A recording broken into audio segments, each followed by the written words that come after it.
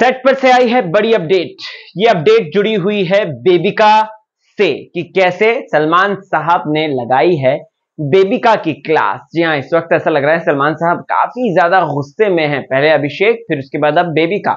चलिए बात बताता हूँ कि आखिरकार मेरे गुप्तचरों ने सेट पर से क्या अपडेट बताई है. आप देख रहे हैं चैनल टेली खजाना.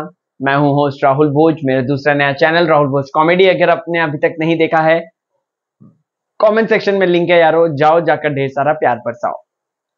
अब, दोस्तों, यहाँ पर सेट से क्या अपडेट आई है? सेट से ऐसी अपडेट है जो कि है कि आखिरकार अभिषेक को एज शेमिंग करने के बाद मतलब जिस तरीके से उसने अविनाश की एज शेमिंग करी, उसके बाद अब बेबिका पर क्या अटैक किया है भाईजान सलमान खान ने? आप लोगों को बता दो, दोस्तों तो भाईजान सलमान खान ने बेबिका के नॉनसेंस पर फाइनली रोक लगा दी है। अकॉर्डिंग टू सोर्सेस ये बात सामने आई है कि बेबिका को जिस तरीके से उसने मनीषा के ऊपर हिंसा करी थी, जिस तरीके से उसने मनीषा को एक नहीं, दो नहीं, बल्कि तीन तीन बार धक्का दिया था दोस्तों टास्क की आड़ में इसी चीज़ को लेकर कहीं ना कहीं अब बेबिका को सलमान साहब ने लताड़ा है। आपको बता दो दोस्तों तो यहाँ पर सलमान साहब ने यही सवाल पूछा है कि भाई, बेबिका, आपको जो छूट मिल रही है, इसका क्या है?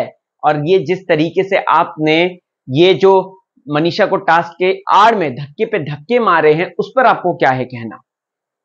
आपको बता दो तो इसी बात पर मैंने भी मुद्दा उठाया था। मैंने यही कहा था कि बेबिका की नॉनसेंस हरकतों पर क्यों आखिरकार लगाम नहीं लगती है? सवाल उठाया था कि भाई, बेबिका बहुत ज़्यादा ओवर कर रही है तो उस पर क्यों आप जो है बैक टू बैक या चाहे वो अभिषेक को मारने को लेकर हो, अभिषेक को अननेसेसरी अभिषेक को मारती रहती है, वो अननेसेसरी अभिषेक को वो मारती है।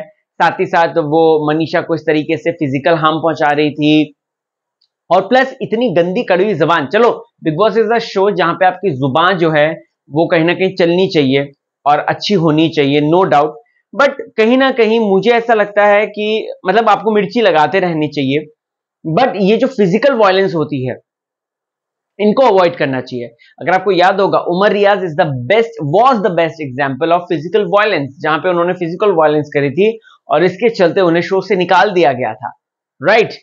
तो ये ऐसा होता है फ़िज़िकल वायलेंस के लिए, अगर आपको याद होगा तो ये प्रियांक शर्मा को भी निकाल दिया था। हालाँकि प्रियांक ने फिर वापसी करी थी। बट इवेंचुअली जो है फ़िज़िकल वायलेंस की पनिशमेंट मिलती है। अब देखते हैं कि बेबी का इस पर क्या कहती है, क्या नहीं, जो भी रिपोर्ट आएगी मैं आपको ज़रूर बताऊँगा। आपको कुछ नहीं करना है, सिर्फ़ देखते रहना है टेली खजाना, क्योंकि आपको हर एक छोटी से छोटी, बड़ी से बड़ी बातों का अपडेट सिर्फ़ और सिर्फ़ यहाँ मिलेगा।